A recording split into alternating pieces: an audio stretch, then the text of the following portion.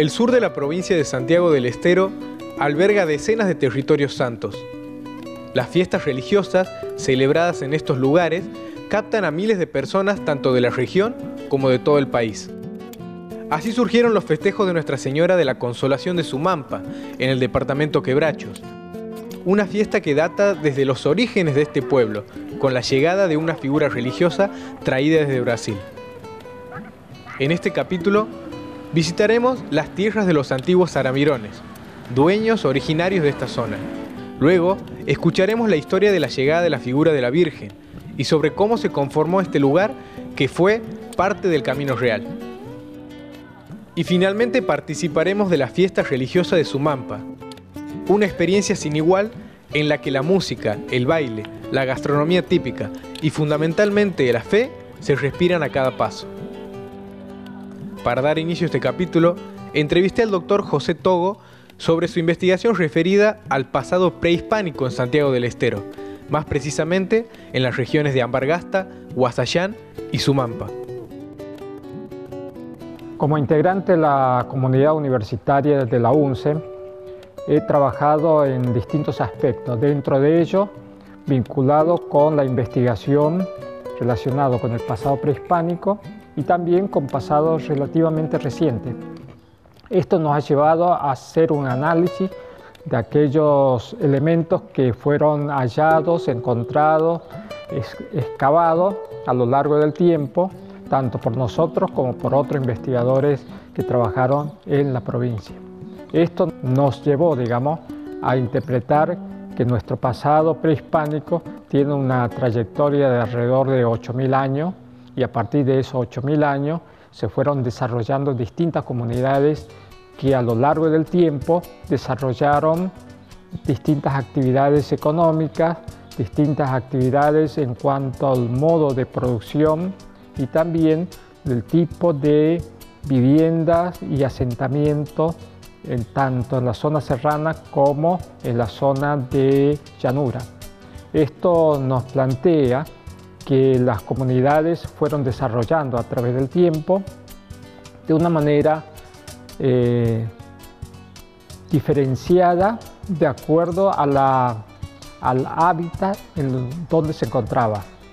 Y es por eso que nosotros en la llanura no vamos a encontrar pictografía. Esto nosotros lo vamos a encontrar en la zona serrana y no, digamos, la zona de, las cuencas Río Dulce ni Salado. Y tal vez esa forma pictórica esté representado en la cerámica. Entonces, cosa que nosotros no lo vemos, digamos, en la pictografía lítica, tal vez los podemos verlo a través del diseño y la forma con que fueron pintados la cerámica en toda esta parte. El hombre a lo largo de la historia de la humanidad siempre ha tratado de, reflejar su, idiosincrasia, su forma de vida a través de distintas formas. Una de ellas es la representación pictórica. La pictórica tenemos dos formas, digamos, uno que es petroglifo y, y el otro la pintura. Entonces ambas formas de diseño están presentes en la zona de Sumampa.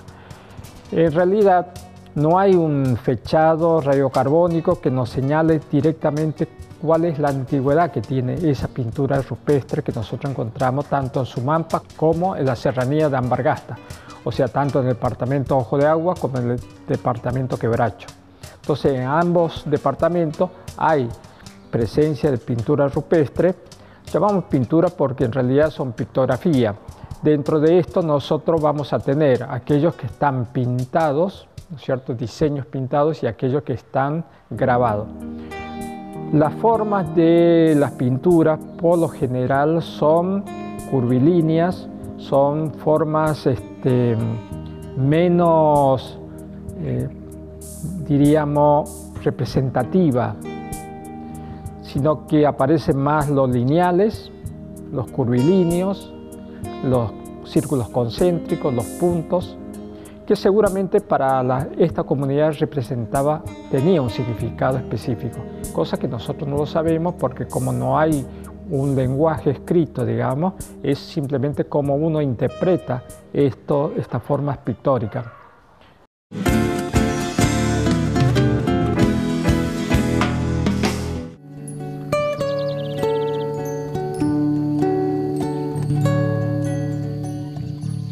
Si bien Sumampa es un pueblo rico en historia y en religión, también tiene un motivo de interés del tipo antropológico, arqueológico, ¿no? ¿Qué nos puedes contar acerca de las pinturas rupestres que hay en este pueblo? Son más de 10 los sitios de arte rupestre que encontramos en la región de Sumampa, en las sierras homónimas.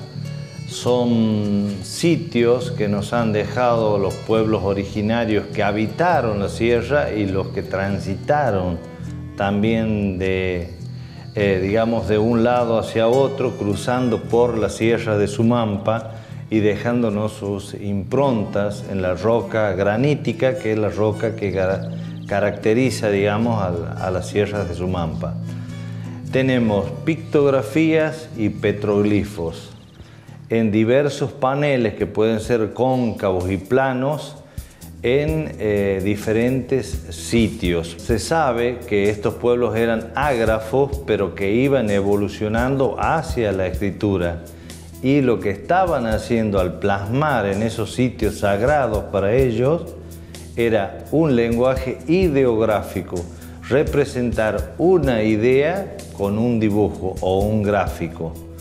Estos sitios que son patrimonio de la humanidad deben ser preservados y deben ser prolongados en el tiempo para deleite o para estudio de las futuras este, generaciones. ¿no? En los sitios de mayor importancia como Parayacu predominan las pictografías, es decir, está pintado el gráfico sobre la roca. Y en otros como Sumampa Viejo o Intihuasi, por ejemplo, tenemos petroglifo, que es grabado como un surco que va marcando el dibujo en la roca. Son dos tipologías que se encuentran muy definidas y que a veces aparecen integradas también en algunos sitios.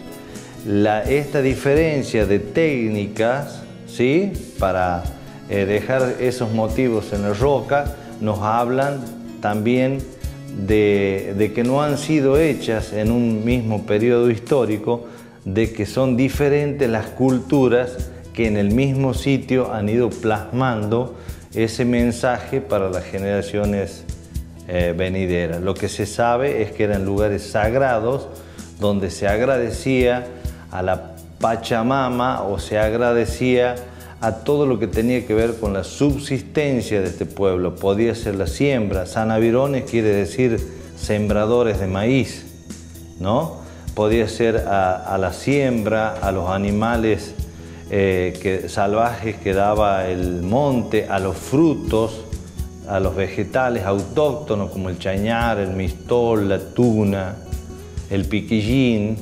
O sea, era una manera de agradecer la miel, la cera, el, eh, el pescado que daba el río Dulce, que lo tenemos a 27 kilómetros, una manera de agradecer todo eso era reunirse los diferentes pueblos en determinados lugares sagrados, tal cual hoy nosotros vamos a, una iglesia, a una sinagoga o a una mezquita.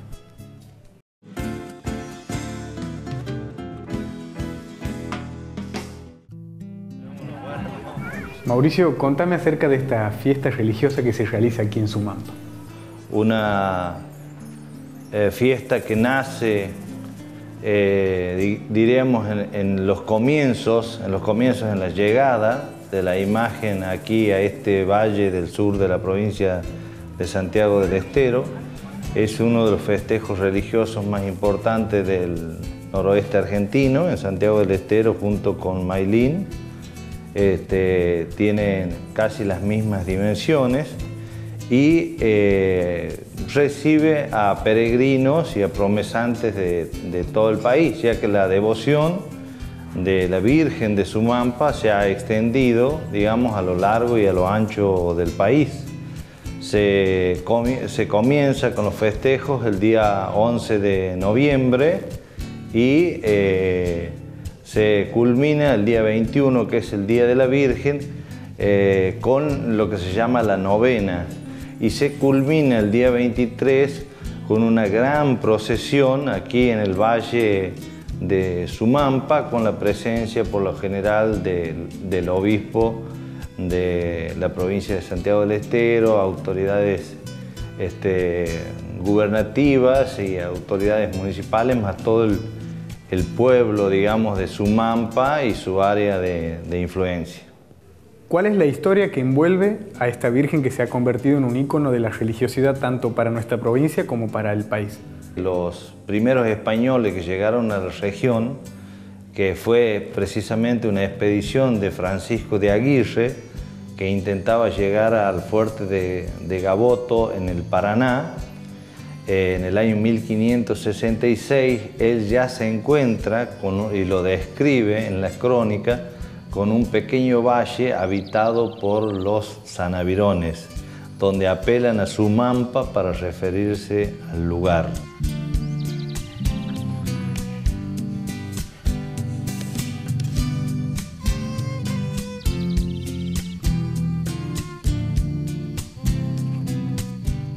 Sumampa es un territorio de origen prehispánico. Estaba habitada por los sanavirones, cuyo territorio comenzaba en el norte, en la región de Salavina, y terminaba sobre el río Suquía, en el centro de la ciudad de Córdoba. Al este, se extendía hasta el límite de Santiago con la provincia de Santa Fe, mientras que al oeste terminaba en las sierras del actual Sumampa. La figura de la Virgen llegó a estas tierras a partir del año 1630.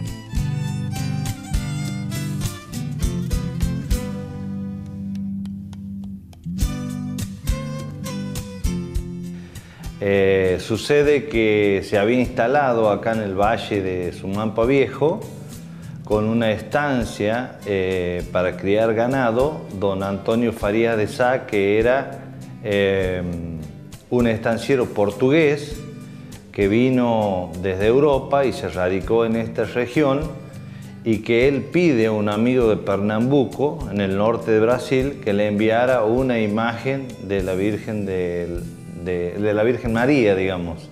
Este amigo le envía por el puerto de Buenos Aires no solo una imagen, sino envía dos imágenes. Y don Antonio Faría Sá envía aquí sus empleados a través del Camino Real a que vayan a esperar al puerto de Buenos Aires esos bultos que llegaban, esas encomiendas. Y entonces, este, grande fue la sorpresa cuando los empleados de Faría de Sá se encuentran con dos cofres que contenían no a una imagen solamente de la Virgen María, sino dos imágenes. A partir de ahí cargan los bultos en una carreta y emprenden el regreso por el camino real, acampando después de dos días a orilla del río Luján. Allí es donde queda una de las imágenes y eh, los demás siguen con su carreta rumbo a Córdoba y desde la ciudad de Córdoba a lomo de mula la imagen de Nuestra Señora de la Consolación de Sumampa llega al casco de la estancia de Don Farías de Sá es recibida con gran alegría por los eh, indígenas sanavirones que ya se habían hecho al cristianismo y eh, por sacerdotes jesuitas que también colaboraban con don Antonio Farías de Saki en su estancia. Desde ese momento se la coloca en una pequeña ermita mientras se comienza bajo la dirección de los sacerdotes jesuitas la eh, construcción del templo que nosotros tenemos, que la cobija hoy a la Virgen, que es uno de los santuarios históricos más antiguos que tiene el país. Eh, la pequeña imagen de barro cocido, porque la Virgen de Sumampa es de barro cocido, es muy diferente, viene del Atlántico, del norte de Brasil, de la región de Bahía, en el norte de Brasil, eh, ya lo dijimos, la ciudad de Pernambuco, es un tipo de imagen muy diferente a las que vienen de la escuela de Lima, que es de la región del Perú, que son de madera tallada, que son policromadas, que tienen otra fábrica, digamos.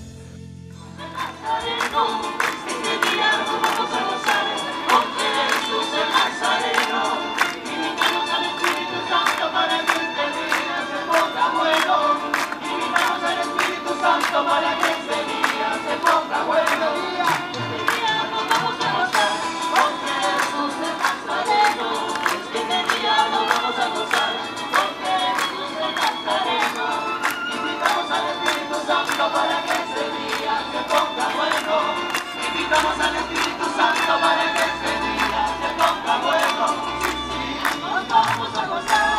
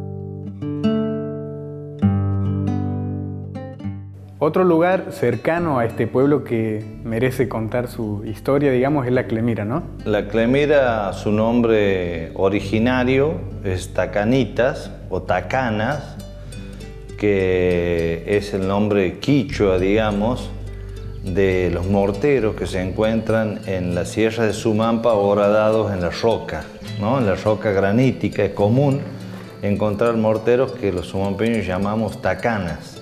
Bueno, en un lugar de Tacanitas se mm, construye en la segunda mitad del siglo XIX sobre el Camino Real la estancia de la Clemira. Vendría a ser una estancia y posta del Camino Real, un lugar casi obligado para parar porque tenía una fuente de agua, una gran represa, un pozo de agua cristalina que era muy necesario para para los agotados viajeros del siglo XIX. El pionero de esa estancia se llama Wenceslao López.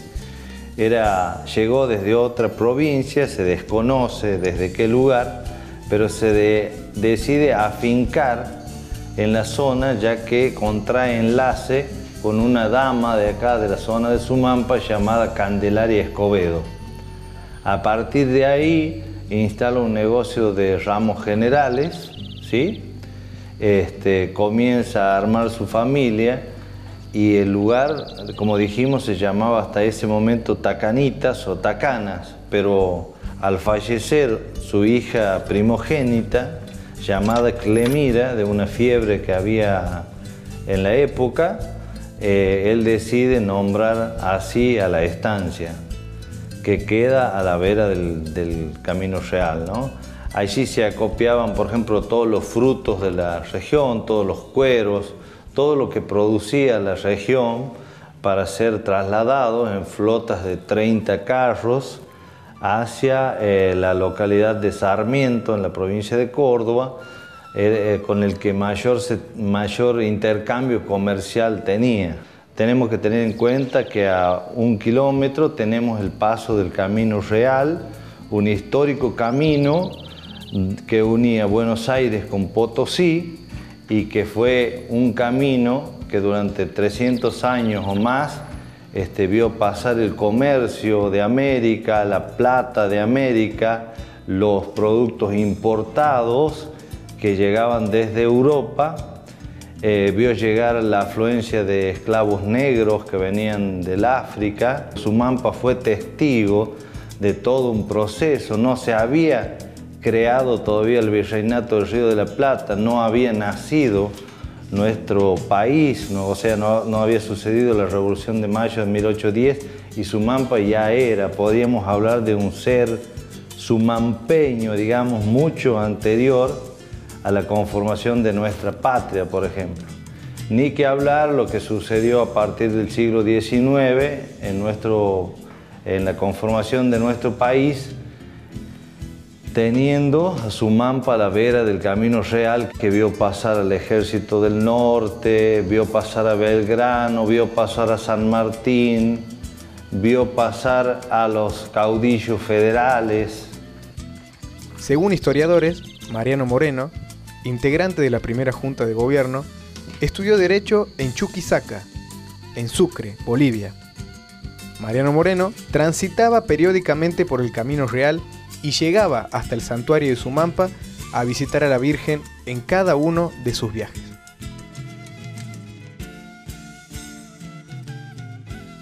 Belgrano y su ejército del norte también pasaron por Sumampa cuando fueron a contener a los españoles allá en la región de Jujuy y de Salta, ¿no? Como la historia lo, lo cuenta. También para declarar la autonomía de Santiago del Estero, hacia el este del santuario, a 20 kilómetros, estaba lo que se llama Fortín de Avipones.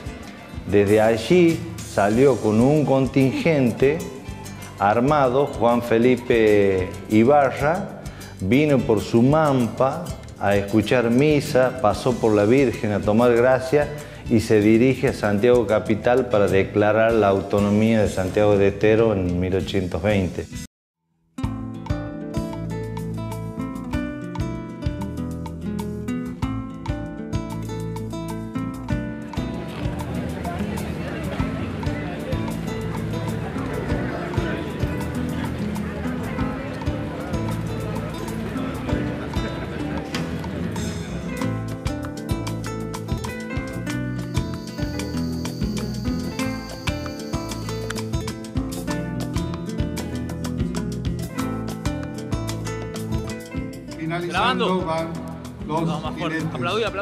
Gracias.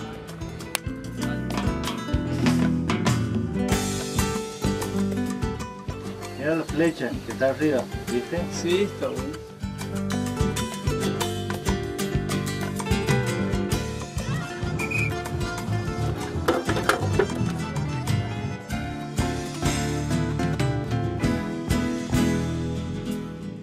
Ahí, ahí vas a venir de atrás y te vas a parar ahí. Eso, andate, andate. No, pero de allá andate. Ajá. Claro.